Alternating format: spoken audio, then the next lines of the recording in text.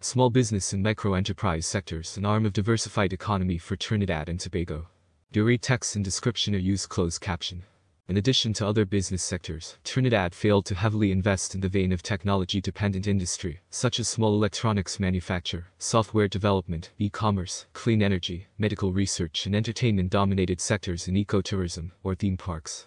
Small business and micro-enterprise a golden chance in the making to reduce dependence on our oil segment.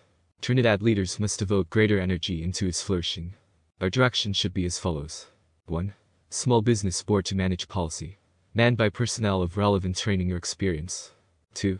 Small business and micro-enterprise advantages crime control, personal pride, product diversity, innovation, community identity, greater tax base, job creation. 3. Small business class free to citizens and expanded to both islands. A program of not less than several months for entrepreneurs. 4. Small business and micro-enterprise bailout a one-time only state-given debt settlement fund for those in need determined by assessment. 5. Small business incentive strategy citizens encouraged by varied means including and not limited to a primary and secondary school counselors to educate kids on owning their own as entrepreneurs. Counselors either qualified educationally or participates meaningfully in business. B. Government assistance in the form of interest-free loans. C. 30% subsidy on business assets purchased, example equipment or vehicles. Government provides this. The Free small business class for adults to train. The A special business hotline staffed by degree holders and adoption of social media. FA mobile app giving history and advice. 6. Small business loans explained qualifying for the zero interest loan from government, the value of which up to $1 million. Citizens must have passed at least a small business course. Exceptions include if already have equivalent or higher qualification, are retirement age or present a convincing business plan. Small businesses defined are privately owned corporations, partnerships, or sole proprietorships which have fewer employees and or less annual revenue than a regular-sized business or corporation.